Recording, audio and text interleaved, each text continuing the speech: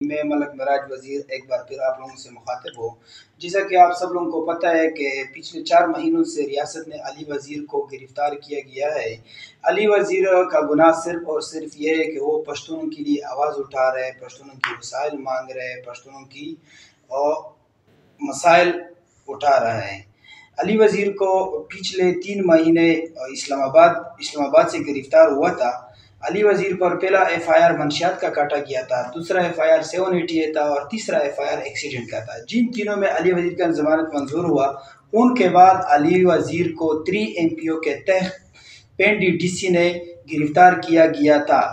उनके बाद जब वो पूरा हो गया, फिर ज़िला गुजरात तब्दील किया गया।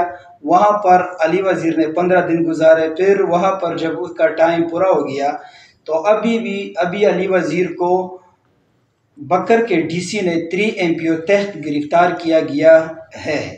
याद रहे कि अली वज़ीर पर जो जुल्म हो रहा है और इस वक्त अली वज़ीर पर बहुत ज़्यादा तशद हो रहा है और मैं तमाम पश्तूनों को ये पैगाम देना चाहता हूँ कि अली वज़ीर के लिए आवाज़ उठाओ। अली वज़ीर की ज़िंदगी ख़तरे में है। अली वज़ीर के रियासत के साथ कोई ज़ाती मामला नहीं है। अली वज़ीर का सिर्फ़ और सिर्फ़ गुनाह ये है कि वो पश्तूनों की आवाज़ उठा रहा है और पश्तूनों के बाका का जंग लड़ रहा है। इसलिए मैं तमाम पश्तूनों से गुजारिश करता हूँ कि आए, आ जाए अली वज़ीर के साथ इस जहदोजहद में। अपनी शिरकत यकीनी बनाए।